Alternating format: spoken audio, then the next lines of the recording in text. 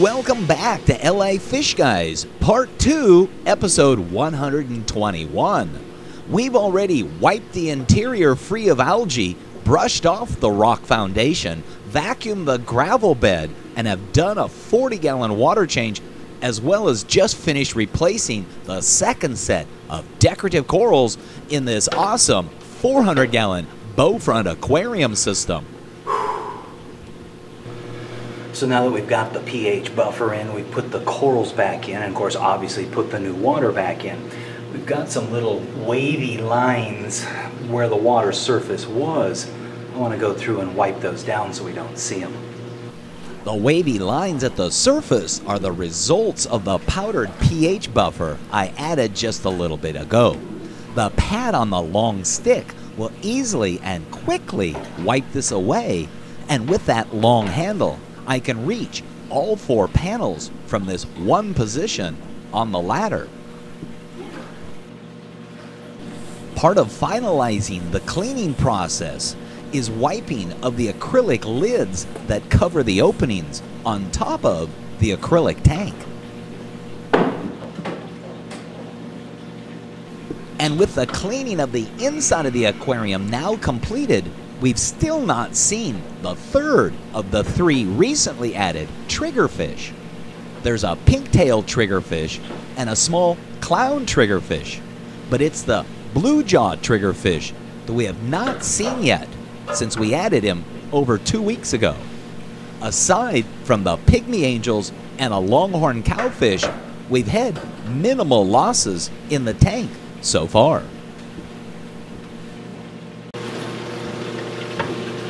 Okay, so it's now time to clean the screen on the algae scrubber. We're also going to change the bulbs in the algae scrubber. The screen in the algae scrubber is what the water flows over and where the algae grows.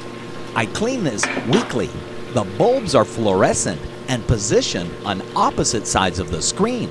Fluorescent bulbs are inexpensive, but their color and intensity decrease quickly. I'll start first by removing the spray rod with screen from the scrubber and scraping off the algae. Got some interesting algae growing on there.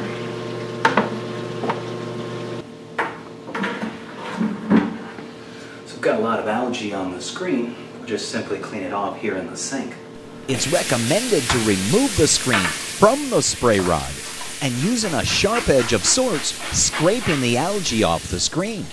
The idea is that the algae, which grew quickly, consumed nutrients from the aquarium water. With the physical removal of the algae off the screen, the algae and the nutrients within are now physically removed from the system.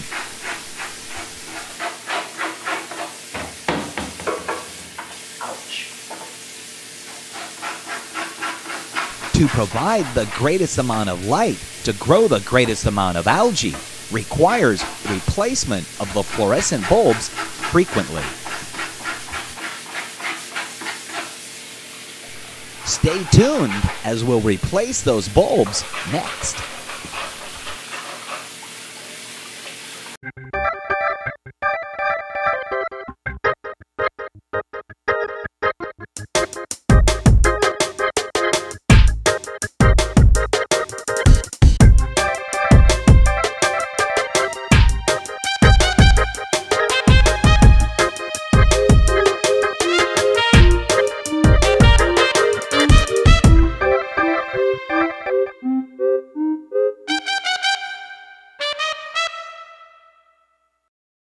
Next time you're near Long Beach, California, take the time to stop in at Age of Aquariums, 2642 Cherry Avenue, just off the 405 freeway near Signal Hill.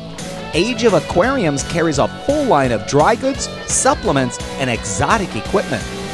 Age of Aquariums also carries a wide assortment of living corals, coral frags, as well as fresh and saltwater fish, ranging from the usual, the unusual, and the bizarre. Age of Aquariums is located at 2642 Cherry Avenue, Long Beach, California, near Signal Hill. Open seven days a week. Call 562 438 6252 or visit ageofaquariums.biz. Have you made your plans yet to attend the Marine Aquarium Expo this coming April 6th and 7th of 2013?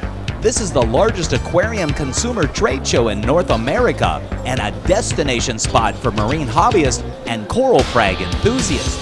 Held at the Orange County Fair and Event Center and featuring over 70 exhibitors, speakers, demonstrations, and a huge opportunity drawing.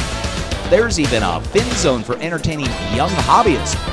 That's the Marine Aquarium Expo at the Orange County Fairgrounds this coming April 6th and 7th, Saturday 10 a.m. to 6 p.m., and Sunday 11 a.m. to 5 p.m.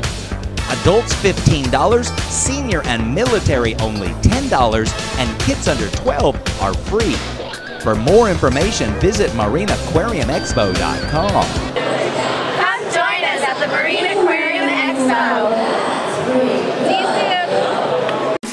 Reef Hobbyist magazine believes that our hobby, our fellow hobbyists, and the animals in our care are best served by the free distribution of quality information. Reef Hobbyist magazine provides hobbyists with critical husbandry information with an emphasis on marine ornamental breeding efforts. Reef Hobbyist magazine is available for free in local fish stores across the country, or you can subscribe at www.reefhobbyistmagazine.com.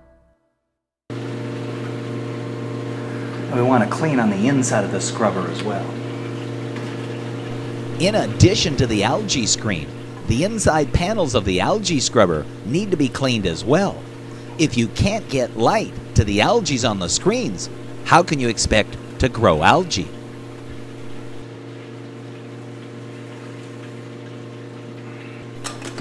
With the inside of the scrubber cleaned, I can now reposition the spray rod and screen.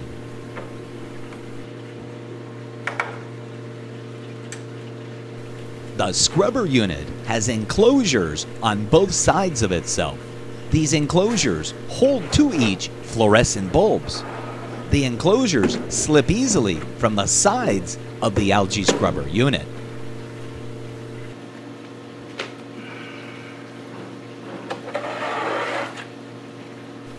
By sliding away the lens or the clear cover from the light enclosure, I can gain access to the interior where the bulbs are attached. It might be better to allow a little bit of time for the bulbs to cool down a bit. But with the use of a towel, I can reach in, twist out the old bulbs, and not burn my fingertips.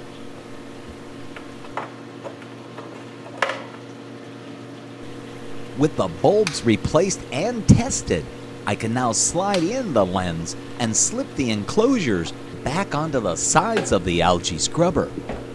And by using the union fitting, I can reconnect the water supply line to the unit. And then by placing the cover on top, And the algae scrubber's taken care of.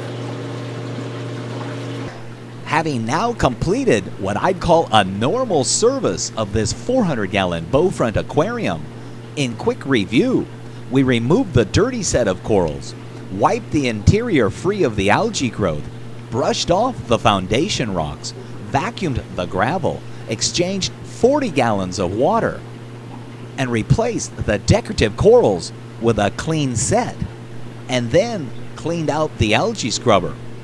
This usually takes about three hours, and as you can see, the results are spectacular. So we got one last thing to do, and that's to feed the tank. I enjoy it because I like to see the fish come out, and at the same time, it allows me the chance to see how the fish are interacting with each other, how they're interacting with the food, which food they like, and if they're eating or not eating. So let's go get a little bit of food and also see if that blue jaw trigger comes out. The foods I'm using are a frozen food along with a small amount of green vegetable or algae based flake food. The frozen foods are a variety version consisting of mysis shrimp, squid, clams, mussels, and krill. Additionally, I add a gelatin based fish food to help the fish put on some bulk. Some of the food is small in size and settles quickly, but allows for the butterfly fish to pick at it throughout the day. And there, do you see it? The blue jaw triggerfish.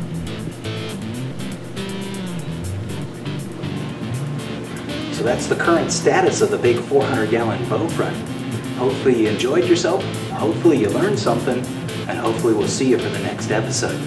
Until then, keep moving forward.